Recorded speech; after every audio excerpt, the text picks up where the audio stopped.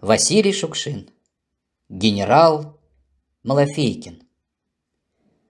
Мишка Толстых, плотник СМУ-7, маленький, скуластый человек с длинными руками, забайкальский москвич, возвращался из гостей в Освояси.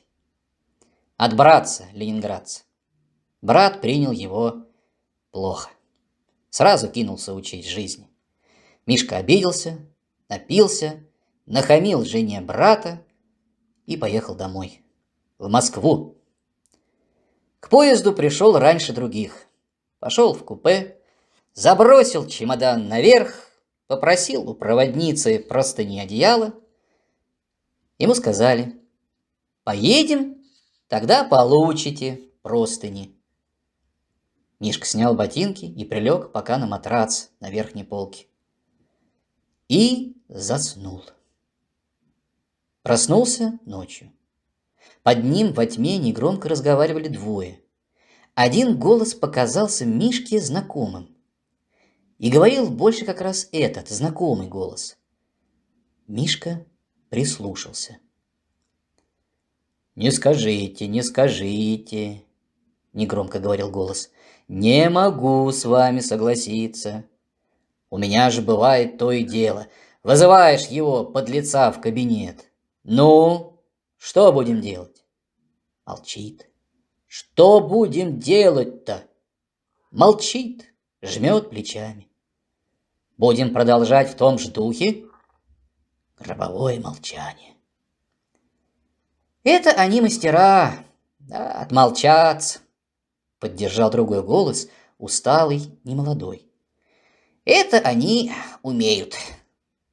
Что вы? Эх, молчит, как в рот воды набравши. Ну, долго? Спрашиваю. Типа, будем молчанку-то играть. Мишка вспомнил, чей голос напоминает этот голос внизу. Семена Ивановича Малофейкина, московского соседа из 37-го дома, нелюдимого маляра-шабашника, инвалидного пенсионера. С этим Семеном Ивановичем Мишка один раз вместе халтурил. Отделывали квартиру какому-то большому начальнику. Недели полторы работали, и все за это время. Малофейкин сказал, может быть, ну десять слов. Он даже не здоровался, когда приходил на работу. На вопрос, почему он молчит, Малофейкин сказал, у меня грудь болит с вами трепаться. Но этот внизу, это, конечно, не Малафейкин, но до чего похож голос. Поразительно. Ведь я ж тебя, под лица из Москвы выселю, говоришь ему. Выведешь ведь из терпения, выселю. Не надо, просит. А, открыл рот, заговорил. Случается, выселяете? Мало.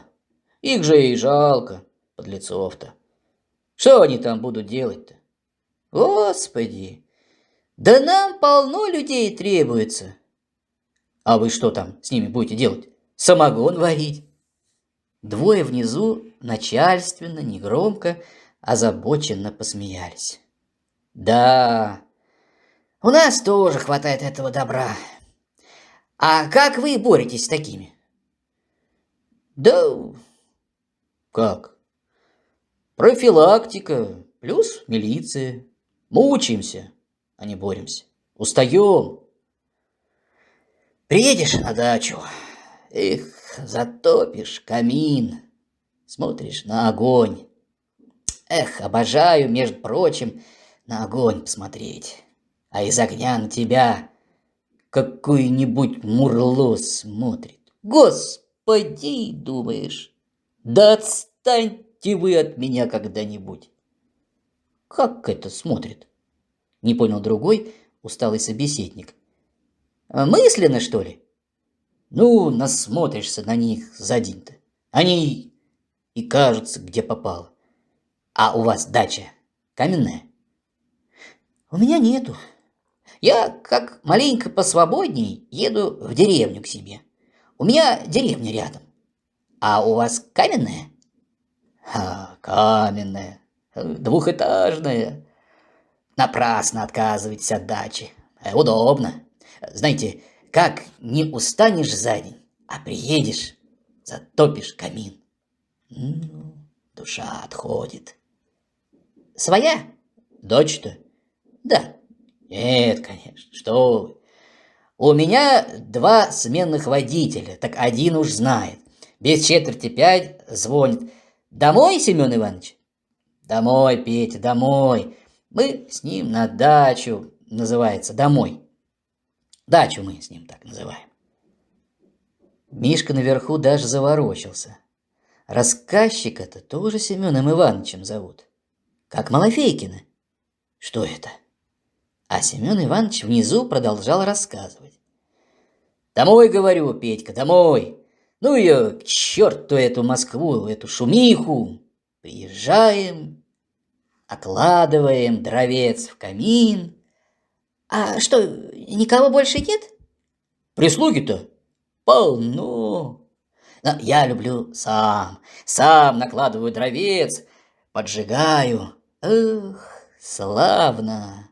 Знаете, иногда думаешь, да на кой черт мне все эти почести, ордена, персоналки?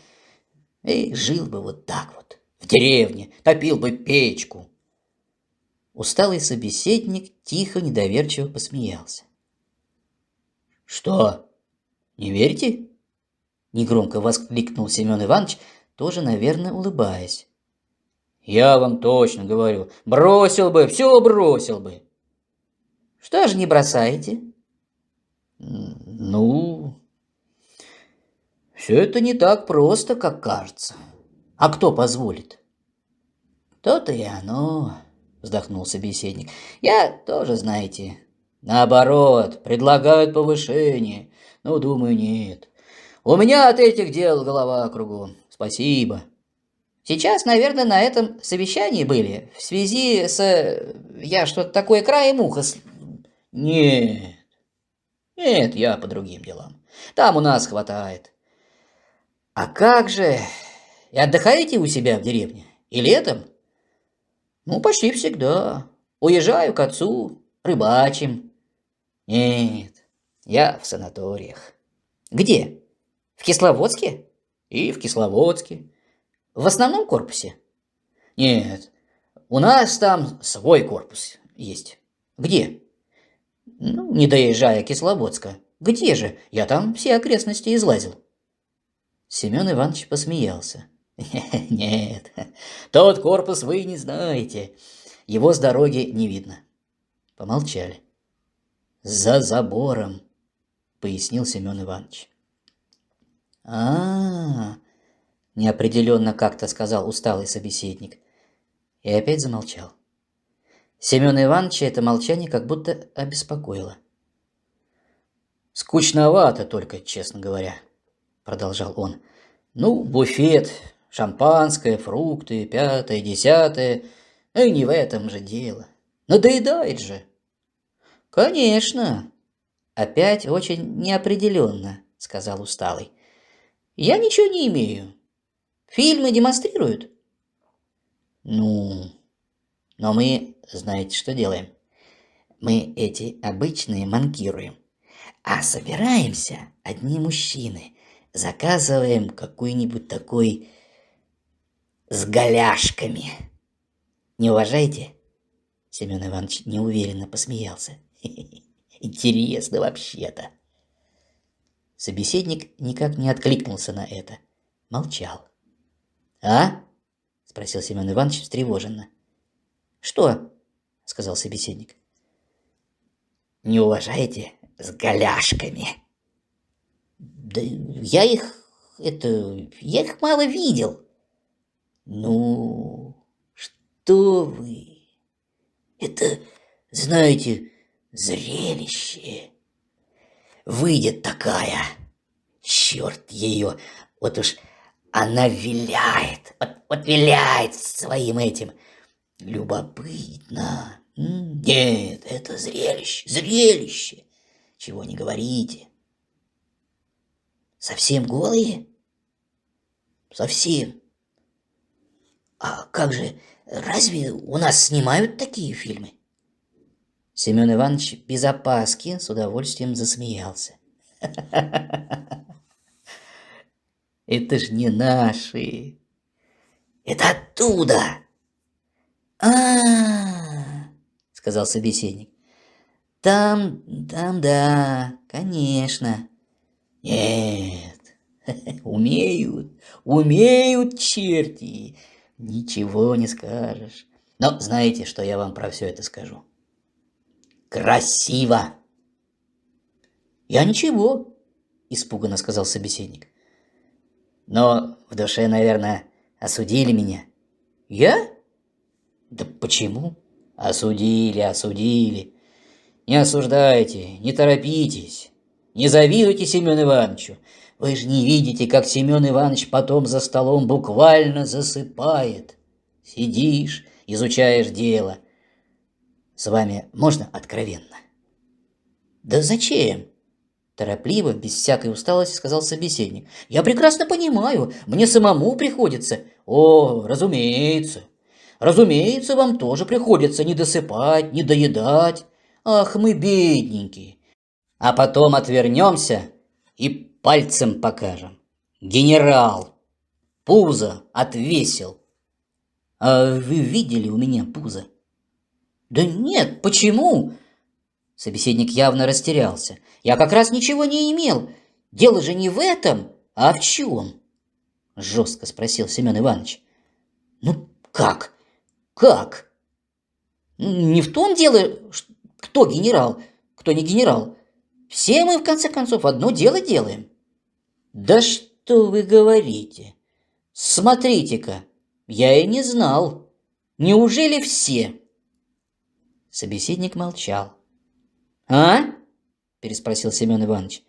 Непонятно, почему он рассердился. Собеседник молчал. «Что молчим?» «А, тоже молчим?» «Слушайте». Собеседник, чувствовалось, привстал. «В чем, собственно, дело? Что вы против меня имеете?» «Да упаси Боже!» Моментально искренне откликнулся Семен Иванович. Ничегошеньки я не имею. Просто спросил. Я думал, что вы что-то против меня имеете. Ничего? Ничего, конечно. Вообще-то спать пора.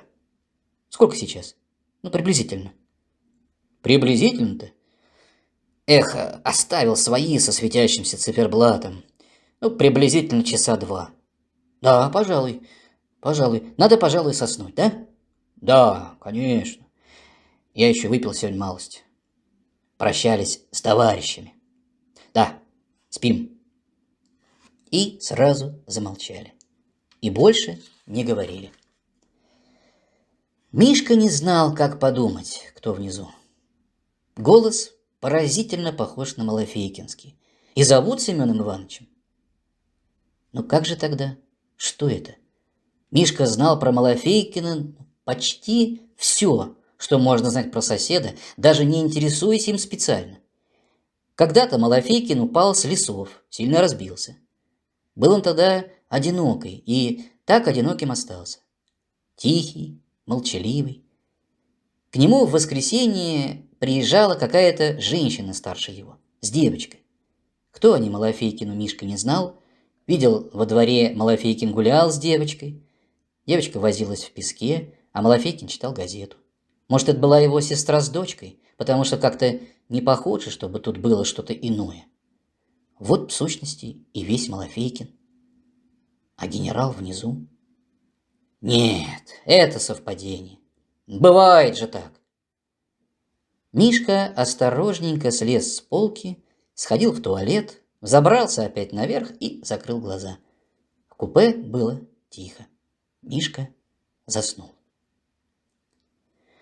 Утром Мишка проснулся позже других, перед самой Москвой. Открыл глаза, глянул вниз, а внизу у окошка сидит Семен Иваныч Малафейкин. И еще какой-то человек, тоже сидит у окна напротив, лет пятидесяти, румяный. Сидят, смотрят в окно. Еще девушка какая-то в брюках книгу читает в сторонке. Молчат. Мишка заспал ночной разговор, хотел уж сказать сверху «Здравствуй, сосед!» и вспомнил. И даже отпрянул вглубь, оторопел, полежал, повспоминал. Может, приснился ему этот ночной разговор? Пока он мучительно вспоминал, румяный человек слышно потянулся и сказал, как говорят долго молчавшие люди. «Кажется, подъезжаем!» Пошуршал какой-то бумагой на столе, газету, что ли, свернул, встал и вышел из купе. Мишка свесил вниз голову. Девушка глянула на него, потом в окно и опять уткнулась в книгу. Малафейкин, курносый, с маленькими глазками без ресниц, в галстуке, причесанный на пробор, чуть пристукивал пальцами правой руки по столику, смотрел в окно. «Привет генералу!» — негромко сказал над ним Мишка. Малафейкин резко вскинул голову. Встретились глазами. Маленькие глазки Малафейкина округлились от удивления и даже, как показалось Мишке, испугались. о сказал Малафейкин неодобрительно. «Явились, не запылились». «Э, откуда это?» Мишка молчал, смотрел на соседа. Старался насмешливо. «Чего это? Чего это разъезжаем-то?» Даже как-то зло спросил Малафейкин и быстро глянул на дверь. Точно. Это он ночью городил про каменные дачи и как он устал от наград и почестей. «Че это ты ночью плел?» Начал было Мишка, но вошел румяный человек, и Малафейкин быстро, испуганно повернулся к нему и встал, и заговорил. «Ну что, подъезжаем?» Суетливо сунулся к окну, Пригладил пробор на голове. Да, уже, уже яуза. Так-так. Потоптался чего-то. Направился было из купе, но вернулся, склонился к чемодану. «Во фраер-то!» – изумился Мишка. Ему сверху было видно, как покраснели уши Малафейкина. Он не стал больше приставать к маляру-шабашнику, только с большим любопытством наблюдал за ним сверху. «Вы не в сторону центра едете?» – спросил румяный пассажир и почтительно посмотрел на Малафейкина. «А?» – встрепенулся Малафейкин. «Я? Э, нет, нет, меня... нет, в другую сторону. А то я хотел присоединиться к вам. Э, нет, нет, мне в другую. Нам в сторону Свиблова!» Громко сказал Мишка, потянулся и сел на полке. Его разбирал смех. «О, попутчик наш проснулся», — сказал румяный человек. «Доброе утро, молодой человек. Завидный у вас сон. А я в дороге плохо сплю. Эх, ругаю себя. Да отсыпайся ты, есть же возможность. Нет, никак». Мишка, улыбаясь, смотрел на Малафейкина. «Нет, мне б еще столько, ничего бы. Дело молодое. Малафейкин застегнул свой скрипучий желтый чемодан, затянул ремни, подхватил его, выставил в коридор. Из коридора же, не входя в купе, снял с вешалки кожаное пальто, снял с полки шляпу и ушел одеваться в коридор подальше. «Трусит. Разоблачу», — понял Мишка.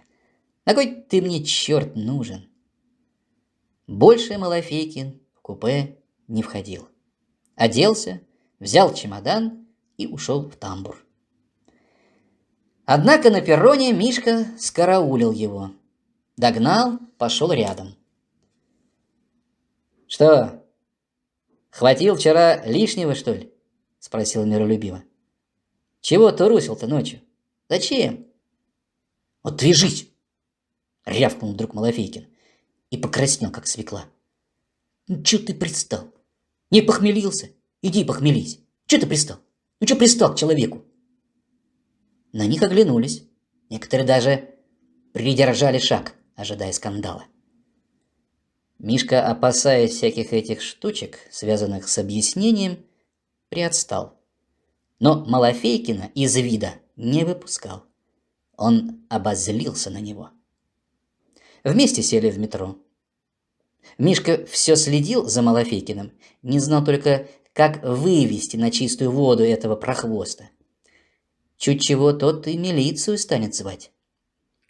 В вагоне Малафейкин осторожно огляделся и напоролся на прямой уничтожающий Мишкин взгляд. Мишка подмигнул ему. Уши Малафейкина опять зацвели маковым цветом. Жесткий воротник кожаного пальто подпирал сзади его шляпу. Малафейкин больше не оглядывался. На выходе из метро на эскалаторе Мишка опять приблизился к Малафейкину. Заговорил на ухо ему. «Ты не ори только, не ори! Я один вопрос поставлю и больше не буду. У меня брательник в Питере такой же, придурок. Тоже строит из себя. Чего вы все корежите-то, а? Чего вы добиваетесь этим, а?» Я серьезно спрашиваю. Малафекин молчал. Смотрел вверх, вперед. Вам что, а? легче, что ли, становится-то после этого? Малафейкин молчал. Зачем врал-то мужику ночью, а? Как эскалатор изготовился столкнуть их, вышел напрямую, Малафейкин стал искать глазами милиционера. Мишка обогнал его и, оглядываясь, пришел раньше к автобусной остановке. «Я тебя дома, во дворе допеку», — решил. Около дома, когда сошли с автобуса, Мишка опять пошел было к Малафейкину, но тот вдруг болезненно сморщился, затряс головой так, что шляпа чуть не съехала с головы, затопал ногой и закричал «Не подходи! Не подходи ко мне! Не подходи!» Прокричал так, повернулся и скоро пошагал к дому. Почти побежал. Большой желтый чемодан с ремнями колотил его по ноге. Кожаное пальто надламывалось и приятно шумело. Шляпу Малафейкин поправил на ходу левой рукой.